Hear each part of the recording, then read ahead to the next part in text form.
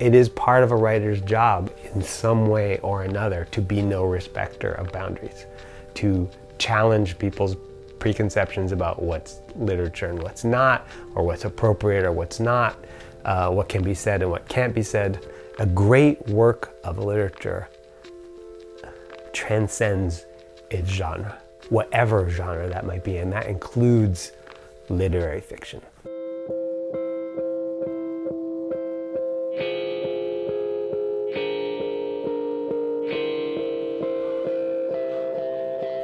Writing for me grows out of reading.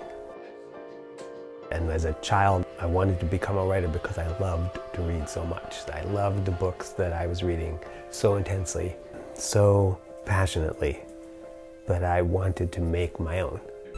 Well, when I first started writing, I was actually uh, living at my mother's.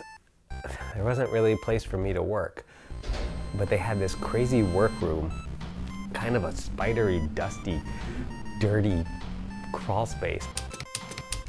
I had a very primitive computer. It was, you know, steam powered and, um, and there was there were hamsters inside on little wheels. I, I moved a steamer trunk and I put a chair on top of a steamer trunk.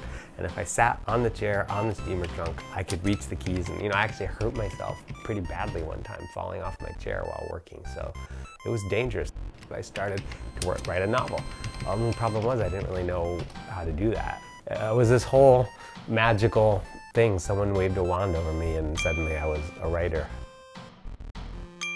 Looking back now, I realize just how extraordinary and lucky that was.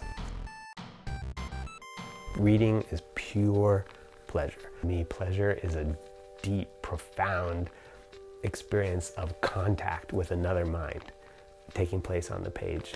It's that insistence that great writing puts on the reader to pay attention not just sit back and relax and let it all wash over you, but sit forward and listen closely